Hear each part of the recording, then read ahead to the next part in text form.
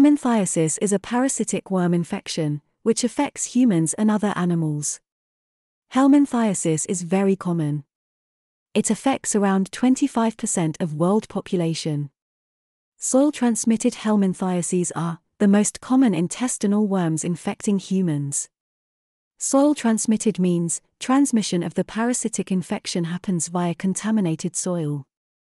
Soil-transmitted helminths live in the intestine and their eggs are passed in the feces of infected persons. If person defecates outside, or not keep appropriate hygiene, there is high chance that people ingest this worm eggs and they will become infected. This can happen when hands or fingers that have contaminated dirt on them are put in the mouth or by consuming vegetables and fruits that have not been carefully cooked, washed, or peeled.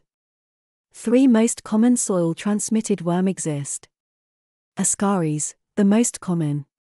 Infects more than billion people in the world. Second most common is whipworm.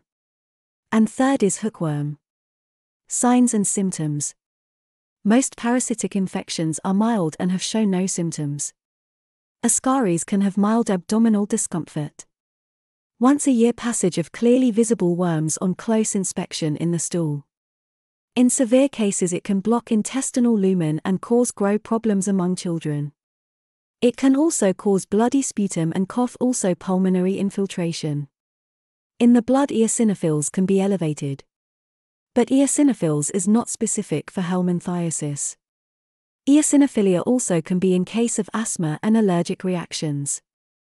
The standard method for diagnosing ascariasis is by identifying Ascaris eggs in a stool sample using a microscope. Hookworm infection. Most people infected with hookworms have no symptoms. Some have gastrointestinal symptoms, especially persons who are infected for the first time. The most serious effects of hookworm infection are blood loss because of intestinal infection, leading to anemia, in addition to protein loss. The standard method for diagnosing the presence of hookworm is by identifying hookworm eggs in a stool sample using a microscope. People infected with whipworm can suffer light or heavy infections. People with light infections usually have no symptoms. People with heavy infections can experience frequent, painful bowel movements that contain a mixture of mucus, water, and blood. Rectal prolapse, when the rectum sags and comes out of the anus, can also occur. Children with heavy infections can become severely anemic and may grow more slowly.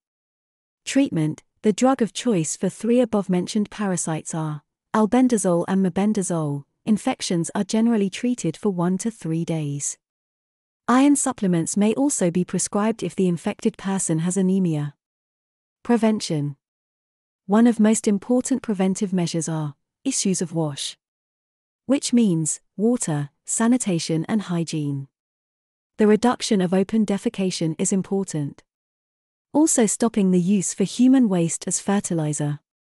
Food hygiene, wearing of shoes, regular deworming of pets, and the proper disposal of their feces.